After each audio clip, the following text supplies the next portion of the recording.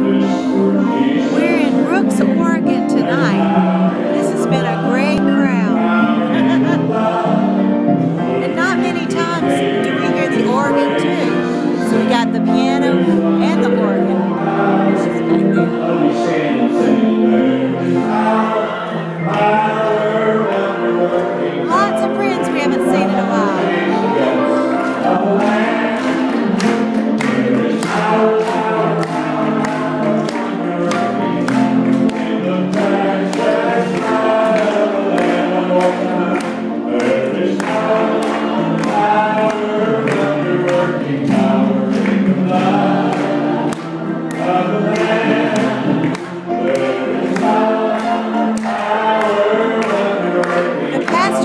Jim Arneson.